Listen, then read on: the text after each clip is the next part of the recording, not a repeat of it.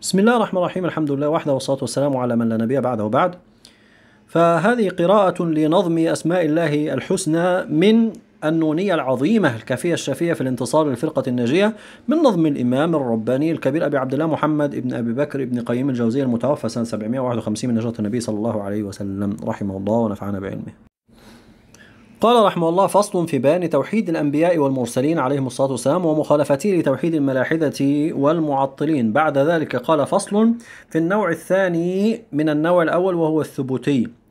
قال رحمه الله تعالى هذا ومن توحيدهم إثبات أوصاف الكمال لربنا الرحمن كعلوه سبحانه فوق السماوات العلى بل فوق كل مكان فهو العلي بذاته سبحانه إذ يستحيل خلاف ذا ببيان وهو الذي حقا على العرش استوى قد قام بالتدبير للأكوان. حي مريد قادر متكلم ذو رحمة وإرادة وحنان هو أول هو آخر هو ظاهر هو باطن هي أربع بوزان الميزان ما قبله شيء كذا ما بعده شيء تعالى الله ذو السلطان. ما فوقه شيء كذا ما دونه شيء وذا تفسير ذي البرهان.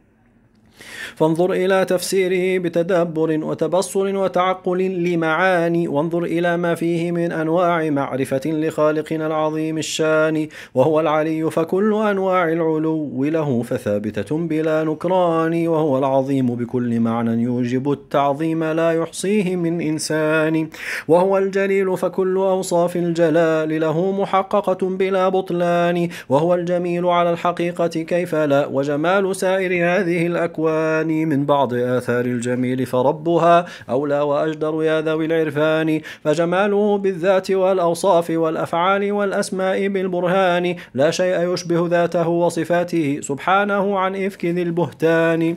وهو المجيد صفاته أوصاف تعظيم فشأن الوصف أعظم شان وهو السميع يرى ويسمع كل ما في الكون عاليه مع التحتان. ولكل صوت منه سمع حاضر فالسر والإعلان مستويان. والسمع منه واسع الأصوات لا يخفى عليه بعيدها والداني وهو البصير يرى دبيب النملة السوداء تحت الصخر والصوان ويرى مجاري القوت في أعضائها ويرى عروق نياطها بعيان ويرى خيانات العيون بلحظها ويرى كذاك تقلب الأجفان وهو العليم أحاط علما بالذي في الكون من سر ومن إعلان وبكل شيء علمه سبحانه فهو المحيط وليس ذا نسيان. وكذاك يعلم ما يكون غدا وما قد كان والموجود في ذا الآن. وكذاك أمر لم يكن لو كان كيف يكون ذا إمكان؟ فصل. وهو الحميد فكل حمد واقع أو كان مفروضا مدى الأزمان. ملأ الوجود جميعه ونظيره نظيره من غير ما عد ولا حسبان. هو أهله سبحانه وبحمده كل المحامد وصف ذي الإحسان.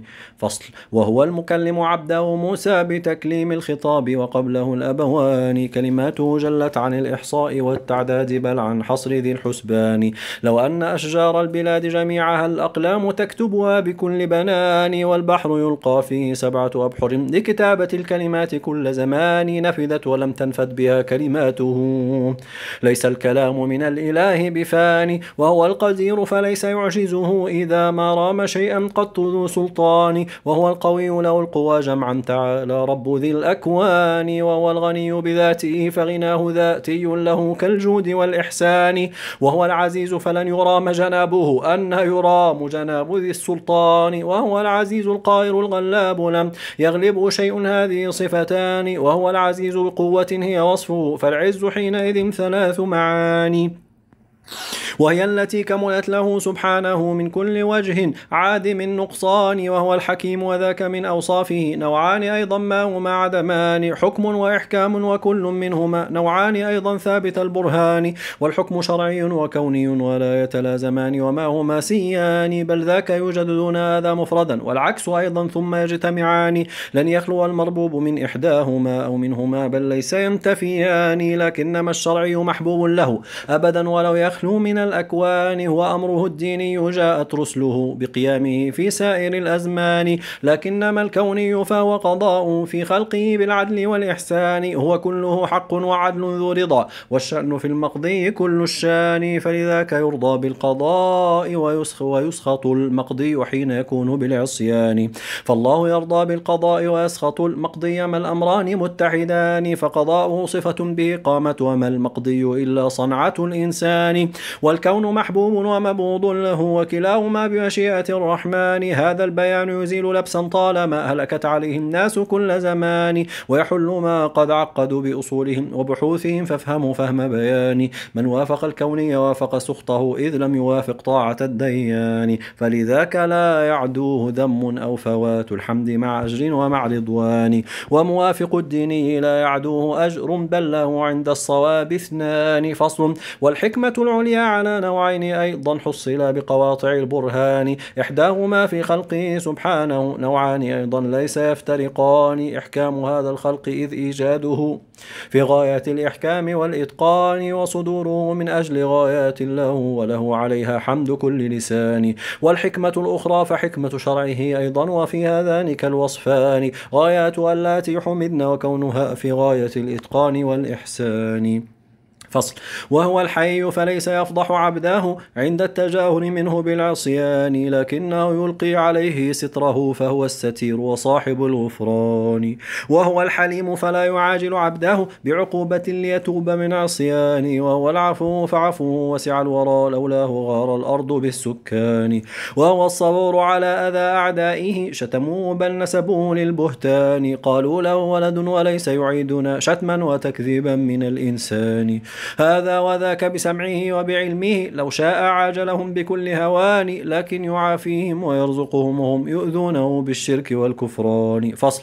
وهو الرقيب على الخواطر واللواحظ كيف بالأفعال بالأركان. وهو الحفيظ عليهم وهو الكفيل بحفظهم من كل أمر عاني. وهو اللطيف بعبده ولعبده واللطف في أوصافه نوعان. إدراك أسرار الأمور بخبرة واللطف عند مواقع الإحسان. فيريد يريك عزته ويبدي لطفه والعبد في الغفلات عن ذا الشان. فصل. وهو الرفيق يحب أهل الرفق بل يعطيهم بالرفق فوق أماني وهو القريب وقربه المختص بالداعي وعابده على الإيمان. وهو المجيب يقول من يدعو أجبه أنا المجيب لكل من ناداني. وهو المجيب لدعوة المضطر إذ يدعوه في سر وفي إعلان. وهو الجواد فجوده عم الوجود جميعه بالفضل والإحسان. الإيمان وهو الجواد فلا يخيب سائلا ولو أنه من أمة الكفران وهو المغيث لكل مخلوقاته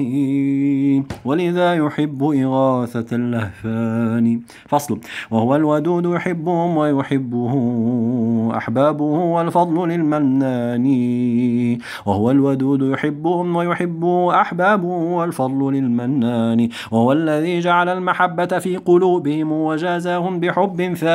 هذا هو الإحسان حقا لا معاوضة ولا لتوقع الشكران. لكن يحب شكورهم لا لاحتياج منه للشكران والإيمان. وهو الشكور فلن يضيع سعيهم لكن يضاعفه بلا حسبان. ما للعباد عليه حق واجبه وأوجب الأجر العظيم الشان كلا ولا عمل لديه ضائع إن كان بالإخلاص والإحسان. إن عذبوا فبعدله أو نعموا فبفضله سبحان ذي السلطان فصل. وهو الغفور فلو أتى بقرابها وهو الغفور فلو أتى بقرابها. وجهان خطأ موحد ربي الرحمن لا أتاه بالغفران من أقرابها. قرابها سبحانه هو واسع الغفران. وكذلك التواب من أوصافه والتوب في أوصافه نوعان. إذن بتوبة عبده وقبولها بعد المتاب بمنة المنان. فصل. وهو الإله السيد الصمد الذي صمدت إليه الخلق بالإذعان. الكامل الأوصاف من كل الوجوه كماله ما فيه من نقصان. وكذلك القهار من أوصافه فالخلق مقهورون بالسلطان. فالخلق مقهورون بالسلطان لو لم يكن حيا عزيزا قادرا ما كان من قهر ولا سلطان. وكذلك الجبار من أوصافه والجبر في أوصافه قسمان. جبر الضعيف وكل قلب قد غدا ذا كسرة فالجبر منه داني والثاني جبر القهر بالعز الذي لا ينبغي لسواه من إنسان. وله مسمى ثالث وهو العلو. وله مسمى ثالث وهو العلو فليس يدنو منه من إنسان. من قولهم جبارة للنخلة العليا التي فاتت لكل بنان. فصل. وهو الحسيب كفاية وحماية والحسب كافي العبد كل أوان وهو الرشيد فقوله وفعاله رشد وربك مرشد الحيران. وكلاهما حق فهذا وصفه والفعل للإرشاد ذاك الثاني. والعدل من أوصافه في فعله ومقاله والحكم بالميزان. فعلى الصراط المستقيم إلى هنا.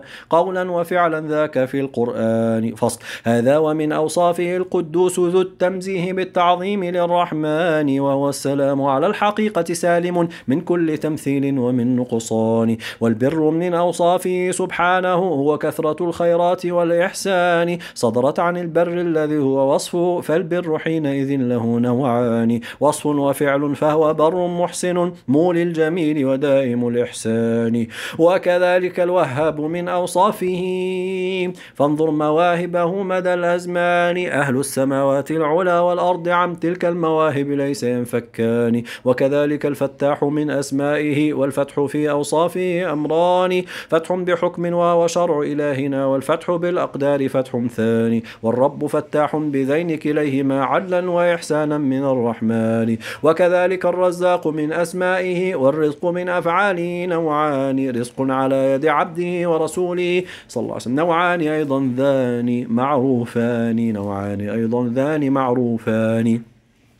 رزق القلوب العلم والإيمان والرزق المعد لهذه الأبدان. هذا هو الرزق الحلال وربنا رزاقه والفضل للمنان. والثاني سوق القوت للأعضاء في تلك المجاري سوقه بوزان. هذا يكون من الحلال كما يكون من الحرام كلاهما رزقان. والله, والله رازقه بهذا الاعتبار وليس بالإطلاق دون بيان. فصل. هذا ومن أوصافه القيوم والقيوم في أوصافه أمران. إحداهما القيوم قام بنفسه والكون قام به هما الأمران. فالأول استغناء عن غيره والفقر من كل إليه الثاني والوصف بالقيوم ذو شأن عظيم. والوصف بالقيوم ذو شأن عظيم من هكذا. والوصف بالقيوم والوصف بالقيوم ذو شأن عظيم. هكذا موصوفه أيضا عظيم الشأن يحر والحي يتلوه فأوصاف الكمال هما لأفق سمائها قطبان. فالحي والقيوم لم تتخلف الأوصاف أصلا عنهما ببيان. هو قابض هو باسط هو خافض هو رافع بالعدل والميزان. وهو المعز لآل طاعته وذا عز حقيقي بلا بطلان. وهو المذل لمن يشاء بذلة الدارين. ذل شقا وذل هوان. ومانع معطي فهذا فضله والمنع عين العدل للمنان. يعطي برحمته ويمنع من يشاء بحكمة والله ذو سلطان. فصل. والنور من أسمائه أيضا ومن أوصافه سبحان ذي البرهان. قال ابن مسعود كلاما قد حكاه الدارمي عنه بلا نكران. ما عنده ليل يكون ولا نهار قلت تحت الفلك يوجد ذاني. قلت تحت الفلك يوجد ذاني. نور السماوات العلا من نوره والأرض كيف النجم والقمران. من نور وجه الرب جل جلاله وكذا حكاه الحافظ الطبراني. في فبه استنار العرش والكرسي مع سبع الطباق وسائر الأكوان. وكتابه نور كذلك شرعه نور كذا المبعوث بالفرقان. صلى الله عليه وسلم. وكذلك الإيمان في قلب الفتى نور على نور مع القرآن. وحجابه نور فلو كشف الحجاب لأحرق السبحات للأكوان. وإذا أتى للفصل يشرق نوره في الأرض يوم قيامة الأبدان. وكذاك دار الرب جنات العلا نور تلألأ ليس ذا بطلان. والنور ذو نوعين مخلوق ووصف ما هما والله متحدان. وكذلك المخلوق ذو نوعين محسوس ومعقول هما شيئان.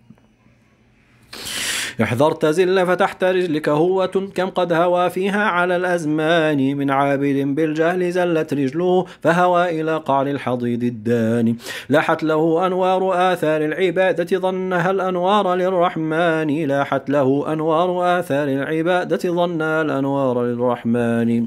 فأتى بكل مصيبة وبلية ما شئت من شطح ومن هذيان وكذا الحلول وكذا الحلولي الذي هو خدن منها هنا حقا هما الأخوان.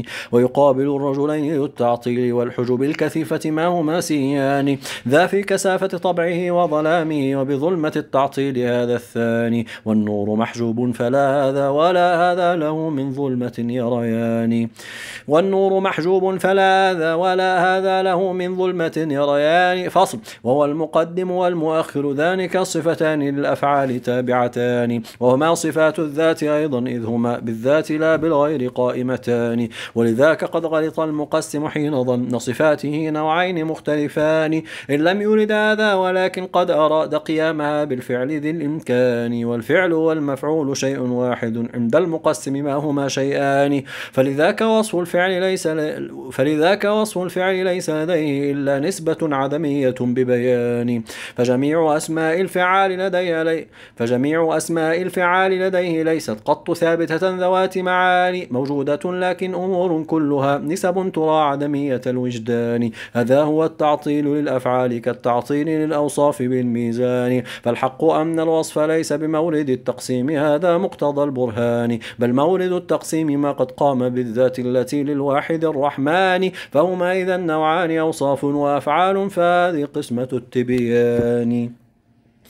فالوصف بالأفعال يستدعي قيام الفعل بالموصوف بالبرهان كالوصف بالمعنى سوى الأفعال ما إن بين ذينك قط من فرقان. ومن العجائب أنهم ردوا على من أثبت الأسماء دون معاني قامت بمنع وصفه. هذا محال غير معقول لدى الأذهان. وأتوا إلى الأوصاف باسم الفعل قالوا لم تقم بالواحد الديان. فانظر إليهم أبطلوا الأصل الذي ردوا به أقوالهم بوزان. إن كان هذا ممكنا فكذاك قول خصومكم أيضا فذو إمكان والوصف بالتقديم والتأخير كوني وديني هما نوعان وكلاهما أمر حقيقي ونسبي ولا يخفى المثال على أولي الأذان. والله قدر ذاك أجمعه بإحكام وإتقان من الرحمن. فصل. هذا ومن أسمائه ما ليس يفرد بل يقال إذا أتى بقران وهي التي تدعى بمزدوجاتها وهي التي تدعى بمزدوجاتها إفرادها خطر على الإنسان.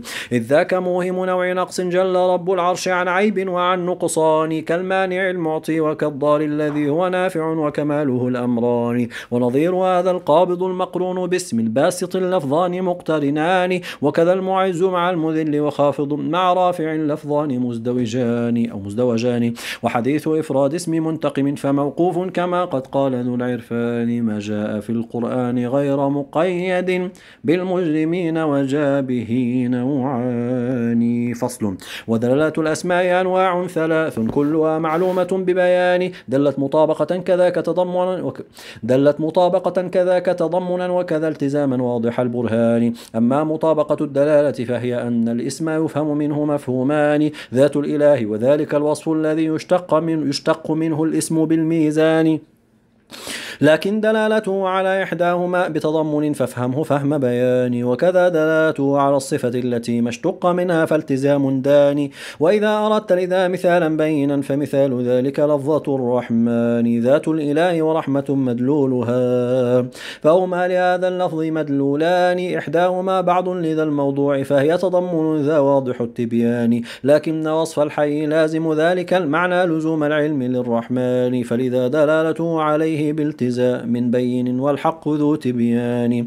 فصل في بين حقيقة الإلحاد في أسماء رب العالمين وذكر أقسام الملحدين. أسماؤه أوصاف مدح كلها مشتقة قد حملت لمعاني. إياك والإلحاد فيها إنه كفر معاذ الله من كفران وحقيقة الإلحاد فيها الميل بالإشراك والتعطيل والنكران. فالملحدون إذا ثلاث طوائف فعليهم غضب من الرحمن. المشركون لأنهم سموا بها أوثانهم قالوا إله ثاني. هم شبهوا المخلوق بالخلق الخلاق عكس مشبه الخلاق بالإنسان. وكذاك أهل الاتحاد فإنهم إخوانهم من أقرب الإخوان. أعطوا الوجود أعطوا, أعطوا الوجود جميعه أسماءه إذ كان عين الله ذي السلطان والمشركون أقل شركا منهم هم خصصوا ذا الإسم بالأوثان. ولذاك كانوا أهل شرك عندهم لو عمموا ما كان من كفران. والملحد الثاني فذو التعطيل إذ ينفي حقائقها بلا برهان. ما ثم غير الإسم أوله بما ينفي الحقيقة نفي ذي البطلان. فالقصد دفع النص عن معنى الحقيقة فاجتهد فيه بلطف بيان. عطل وحرف ثم أول وانفها واقذف بتجسيم وبالكفران. للمثبتين حقائق الأسماء والأوصاف بالأخبار والقرآن. فإذا هم احتجوا عليك بها فقل هذا مجاز وهو وضع ثاني. فإذا غلبت عن المجاز فقل لهم لا تستفاد حقيقة الإيقان. أن وتلك أدلة لفظية عزلت عن الإيقان منذ زمان. فإذا تضافرت الأدلة كثرة فإذا تضافرت الأدلة كثرة وغلبت عن تقرير ذا ببيان فعليك حينئذ بقانون وضعناه لدفع أدلة القرآن.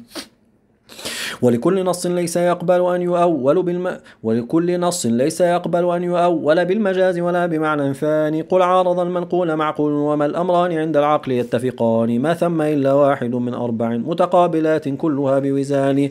إعمال ذين وعكسه أو نلغي المعقول ما هذا بذي إمكان. العقل أصل النقل وهو أبوه إن تبطله يبطل فرعه التحتاني فتعين الإعمال للمعقول والإلغاء للمنقول بالقانون ذي البرهان. إعماله يفضي إلى إلغائه. فاهجروا أجر الترك والنسيان. والله لم نكذب عليهم إننا وهم لدى الرحمن مختصمان.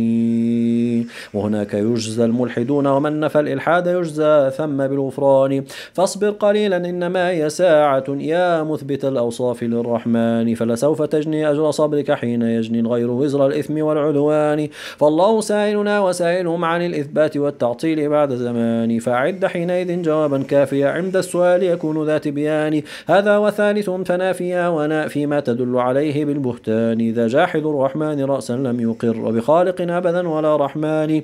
هذا هو الإلحاد فاحذره لعل الله أن ينجيك من نيران. وتفوز بالزلفى لديه وجنة المأوى مع الغفران والرضوان. لا توحش أنك غربة بين الورى فالناس كالأموات في الجبان. لا توحش أنك غربة بين الورى فالناس كالأموات في الجبان. أو ما علمت بأن أهل السنة الغرباء حقا عند كل زمان. قل لي متى سلم الرسول وصحبه. صلى الله عليه وسلم. والتابعون لهم على الإحسان رحمهم الله. من جاهل ومعاند ومنافق ومحارب بالبغي والطغيان. وتظن أنك وارث لهم وما ذقت الأذية قط في الرحمن. كلا ولا جاهدت حق جهاده. في الله لا بيد ولا بلسان. منتك والله المحال النفس فاستحدث سوى ذا الرأي والحسبان. لو كنت وارثه لا ذاك الأولى ورثوا عداه بسائر الألوان. اللهم صل وسلم وبارك على محمد بعد الخلق خير رضا نفسك زوات عرشك من ذلك متك الله نجي من كل ضيق فأنت الهنا مولى الجميع وهب في مدينه مستقر ورزقا ثم دفن بقيه واغفر لي ولوالدي والمشايخ المسلمين. اللهم عرفنا بك يا رب العالمين وقربنا إليك.